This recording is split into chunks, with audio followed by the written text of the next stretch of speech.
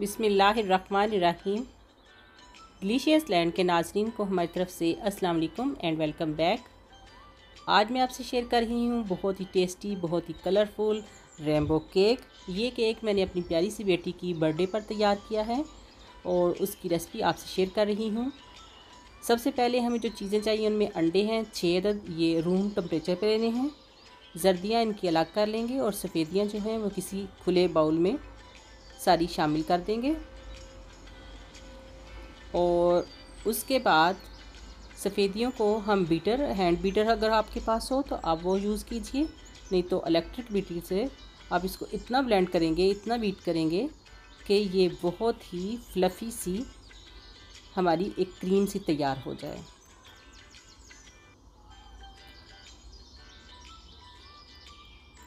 और जब ये हमारी अच्छी सी क्रीम टाइप एक फ्लफ़ी सी क्रीम तैयार हो जाएगी, झाग सी तैयार हो जाएगी।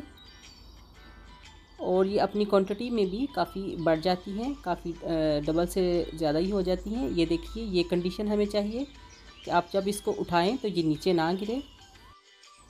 अंडों की जर्दियों में डालेंगे चीनी। चीनी है एक कप दो टेबलस्पून भर के इसमें शामिल करेंगे दही के। लेमन जूस जो है वो एक टेबल स्पून है। हाफ़ टी स्पून इसमें शामिल करेंगे वैनीला एसेंस और सब चीज़ों को अच्छे से ब्लेंड करेंगे जब तक के चीनी अंडे हर चीज़ मिक्स हो जाए। तब हम इसमें ऐड कर देंगे हाफ़ कप कुकिंग ऑयल। जिस कप से आपने मेज़रमेंट करनी है वो सेम होना चाहिए। अच्छे से ब्लेंड कर लेंगे। इसी कप से हमने चीनी ली है, इसी से कुकिंग ऑयल और मैदा भी इसी से लेंगे। अंडों की जो सफ़ेदियाँ हमने पहले से ब्लेंड करके रखी हुई हैं, उनमें थोड़ा थोड़ा शामिल करके इस मिक्सचर को मिक्स कर देंगे। और उसके बाद हम इसमें ऐड करेंगे मैदा, डेढ़ कप थोड़ा थोड़ा डालते जाएँगे, छलनी की वजह से छान के और फिर इसको मिक्स करते रहेंगे एक ही डायरेक्शन में। इस तरह आपका केक बहुत ही फ्लफ़ी और टेस्टी बनेगा। साथ ही इसमें हमने एक टेबल स्पून बेकिंग पाउडर का ऐड कर दिया है, उसको भी छान लिया है और अच्छे से मिक्स कर लिया है। मटेरियल हमारा तैयार हो गया है। और इसको मैंने पाँच हिस्सों में, पाँच बर्तन में डिवाइड किया है और कुछ मैंने ऐसे ही रहने दिया है, यानी इसमें कलर ऐड नहीं करेंगे। येलो है, ब्लू, ऑरेंज कलर जो है, रेड और येलो को मिला के मैंने बनाया है। और पिंक कलर जो है, ये जब आप रेड कलर को बहुत थोड़ा यूज़ करते हैं तो वो पिंक बन जाता है। और इसके अलावा ग्रीन कलर है। मोड़ लेंगे उसको, आयल के साथ सारा अच्छे से ग्रीस कर लेंगे और फिर ऊपर से मैदे के साथ डस्ट कर लेंगे। इस तरह आपको बटर पेपर लगाने की ज़रूरत नहीं। और फिर हम इसमें ऐड करते जाएँगे अपने मटेरियल को। सबसे पहले वाइट वाला ऐड किया है। उसके बाद इस पर ऐड करेंगे ब्लू इसको तरतीब दी है, जैसे रेम्बो को तरतीब होती है कलर्स की, वैसे ही। सब्ज़ जाएगा। इसके बाद जाएगा येलो और इसी तरह इसके बाद हम डालेंगे ऑरेंज ऑरेंज कलर भी बहुत आसानी से बन जाता है। जब आप रेड को येलो के साथ मिक्स करते हैं तो वो ऑरेंज कलर बन जाता है। और जब रेड कलर को आप बहुत थोड़ा यूज़ करते हैं तो वो पिंक शेड देता है। इसी तरह मैंने थोड़े से कलर में से ये ज़्यादा कलर बना दिए हैं। एंड पे फिर इसमें वाइट वाला ही यूज़ करेंगे। तो इसको बहुत अच्छे से हम टैप करेंगे एक दफ़ा ताकि इसमें कोई एयर या बबल वगैरह ना रहें। ओवन को मैंने प्री हीट होने के लिए रख दिया था तो उसमें हम 30 मिनट का तक इसको बेक करेंगे। उसके बाद दो घंटे तक इसको रेस्ट देंगे ताकि ये अच्छे से ठंडा हो जाए। डीमोल्ड करके तो दो हिस्सों में डिवाइड कर लेंगे। उसके बाद क्या करेंगे कि हमने दूध लिया है सिंपल दूध है ये।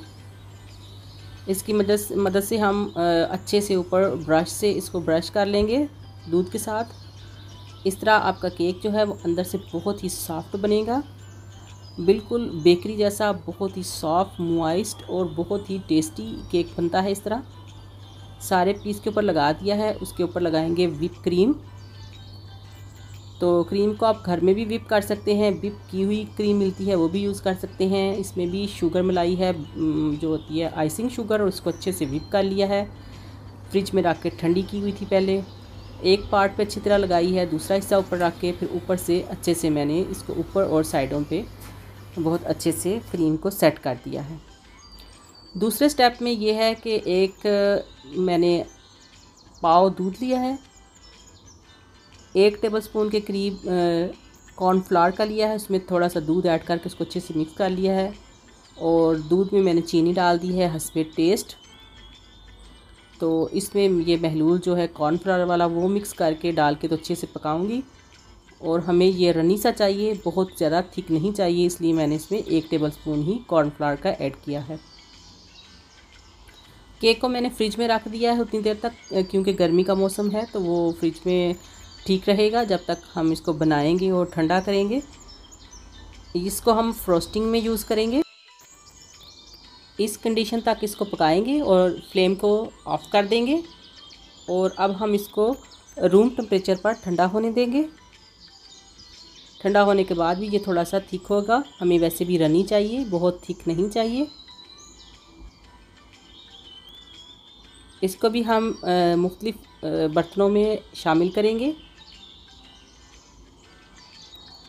जितने कलर आपके पास हों उतने बर्तनों में आप इसको डिवाइड कीजिए। और सब में मैंने कलर डाल दिए हैं। अब मैं इसको अच्छे से मिक्स कर लेती हूँ। मेरे पास पर्पल कलर नहीं था तो उसकी जगह पे मैंने ब्लू बेरीज बेरीज जो हैं वो यूज़ की हैं। उससे भी इसका जो कलर, पर्पल सा कलर बन जाता है। तो अब हम क्या करेंगे ये छोटे साइज़ की बॉटल है कोका कोला की। इसकी पिछली साइड को मैंने काट लिया है और केक के दरमियान में रख देंगे। ऊपर से तरतीब वाइज जैसे के कलर होते हैं रेनबो के उस हिसाब से हम इसको डालेंगे। सबसे पहले पिंक डाला है, उसके ऊपर ऑरेंज फिर yellow blue sorry green blue और लास्ट में हम इस पर डालेंगे पर्पल कलर और आराम के साथ बीच में से इसको उठा लेंगे। और ऊपर स्प्रिंकल कर देंगे स्टार्स जो केक पेस्ट्रीज़ वगैरह में डेकोरेशन के लिए यूज़ होते हैं। अच्छे से सारी तरफ़ थोड़े थोड़े से स्प्रिंकल कर दिए हैं और बहुत ही नाइस सा डिसेंट सा, मेरी बेटी के लिए प्यारा सा बर्थडे का केक रेडी हो गया है। इसको अब मैं फ्रिज में रख दूँगी।